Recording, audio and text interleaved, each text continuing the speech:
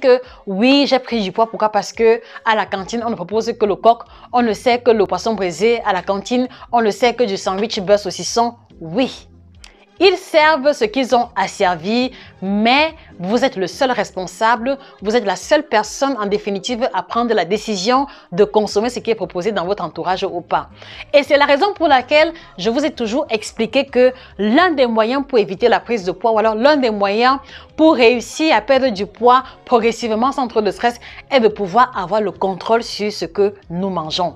Qu'est-ce que cela veut dire? Cela veut simplement dire que lorsque vous quittez de la maison le matin, vous devez penser à vos repas à l'avance. Qu'est-ce que je vais manger une fois au bureau? Si je n'ai pas pris le petit déjeuner à la maison, qu'est-ce que je prends comme petit déjeuner?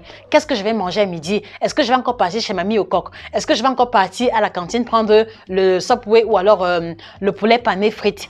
C'est à vous seul de répondre à cette question et c'est à vous encore de pouvoir prendre les décisions, de pouvoir opérer les choix qui s'imposent à ce moment-là.